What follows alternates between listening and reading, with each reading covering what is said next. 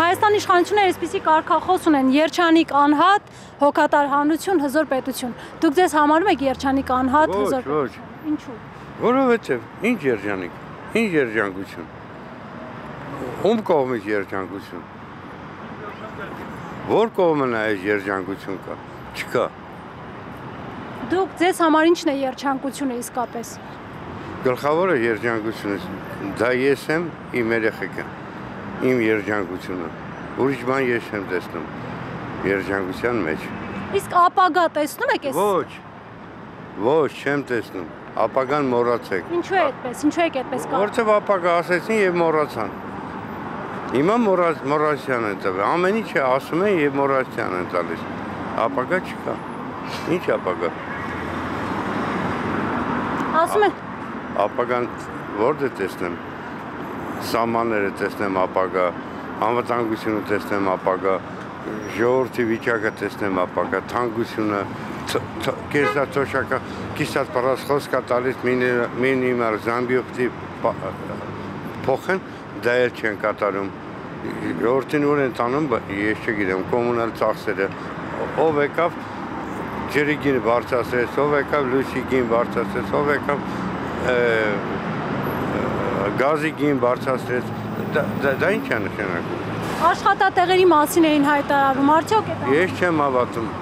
դա էլ չեմ հավատում։ Բայց ասում էին Հայաստանի տնտեսությունը կտրուկ աճ է գրանցել։ Ինչ տեսակետով։ Սոսկը չի աշխատում, հանքերը կիսատ են աշխատում, հանքերի մեծ մասը ը, 50% հայատերեր են, որ օգտագործում են, բայց այդ գումարները չի ներմուծում բյուջե Ինչ ինչ տնտեսական աճի մասին է խոսքը։ Մի Հայաստանում եթե իր հա- հայկական ավիաուղիները չունի, ինքնաթիռ չունի, իր սեփական պետական օրեր չունի, դա է- է- է- ինչ կարի։ Վերջին հարցս։ Հայաստանի իշխանությունները խոսում են Ադրբեջանի ու Թուրքիայի հետ սահմանը բացելու մասին ու դրան հետևող տնտեսական թռիչքային աճերին։ Կներեք,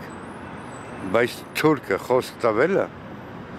թուրքը խոսք տվել է ճանապարհը դիպացի, նա իր կողմից կամուրջը սարկում է, տեսնում եմ, բայց այն կողմից թուրքը իր ճանապարհը սարկում է, որ թույլ տա, որ երրորդ երկրի քաղաքացին գանցնի, դիպլոմատը գագնա, ես չեմ տեսնում, ինչև Բայց հավատում եք այդ երկրին։ Ոչ, ոչ, Թուրքիա հետ ինչ հավատ։ Թու- Թուրքը մնում է թուրք։ Նա նա իր ծրագիրը երեք չեք տեսնում որ արտահայտում են Էրդողանը, Ալիևին, ինչ արտահայտվեց, մինչև Հայաստանի լրիվ քո մտածելակերպը չիրագործես Թուրանի խոսքերով իրենց իր բառն եմ կրկնում ոչ մի խաղաղության հարց չի լինի։ Դա ինչ ասեմ։